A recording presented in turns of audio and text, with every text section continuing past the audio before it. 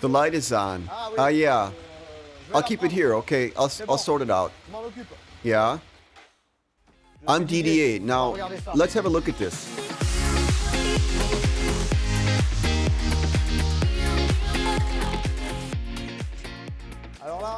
What we have here is a 2010 Ducati 696.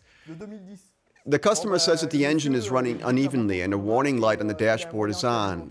Let's have a look. Donc, euh, bon, on va vérifier ça, quoi. hein. Yeah, precisely. Here we can see that the warning light is on. Let's carry out a diagnosis.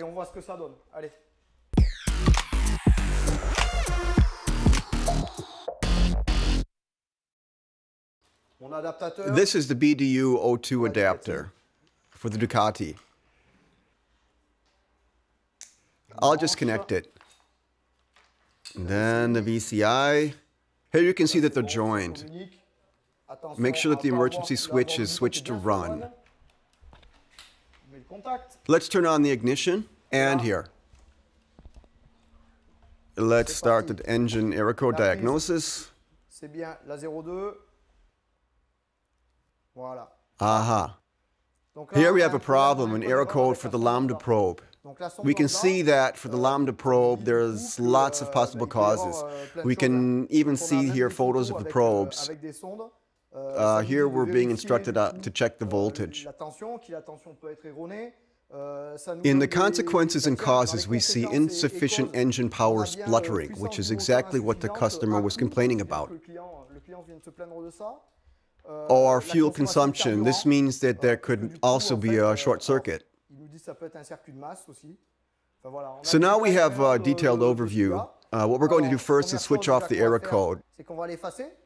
Here we can see it switched off. effacé, Donc on voit bien, c'est effacé. Okay.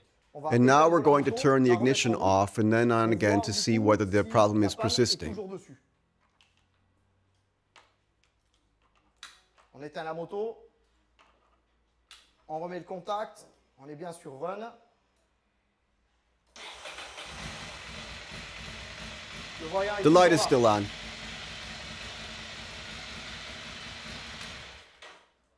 It's clear that the problem is still there, so we have a technical fault. Uh, let's remove the lambda probe and see what's going on. Uh, we can take some preliminary measures and then see where we're going. The front cylinder is there, the lambda probe is here. What often happens with these machines is that the cable suspension isn't attached properly. Le crochet au niveau du câble, il n'est pas tout temps mis. Then the on cable confused câbles with the silencer. sur le pot d'échappement. Let's unfasten the connector. La broche, bon, déjà, elle tient pas beaucoup. Hein. It's pas- not particularly secure anyway. pas vraiment. Pas vraiment It's not engaged properly, so what we're going to do now is clean the whole c'est qu'on va thing. nettoyer tout ça. On va mettre un peu de produit dans les connectiques. And then we can see how it is, like this.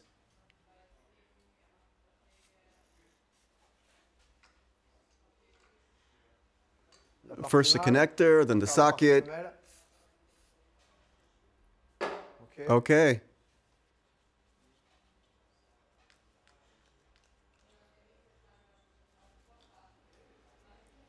So, so that's sorted out. The connectors might have had a buildup of verdigris. If you drive in the rain, water can get in everywhere. Also, some people clean their bikes with high pressure cleaners or even just with a hose. If moisture gets in, it can lead to problems with the probe. On this bike, there are two lambda probes, one on the rear cylinder and one at the front. If one of them is faulty, the values for the preparation of the mixture for the cylinder concerned won't be right anymore. But here, mind you, here, I'm wondering if there was a problem with the connection. Position the connector as far up as possible. Okay, look at this. Now we have the lambda probe here. The silencer is much further underneath, and now I've hung everything as far up as possible with the cable binder up there behind the frame. At least now it won't burn or get hot. Let's switch off the error code.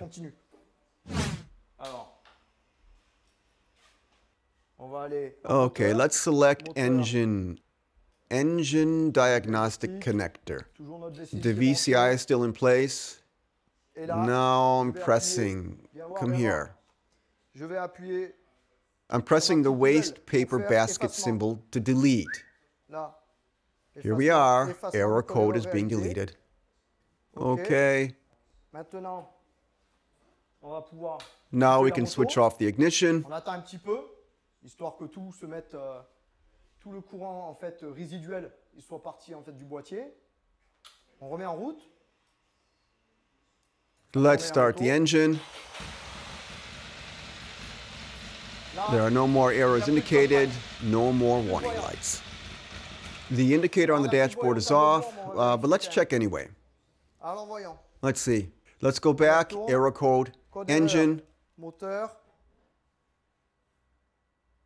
Là, ça le temps qui se connecte.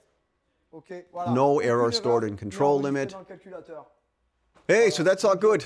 We saved some on a gagné time. The motorbike is repaired, it's working again. elle est remise à zéro, We can give the customer his bike back. That was easy to fix. This time we used the mega macs 56 multi-brand eh equipment. ben, qui fonctionne.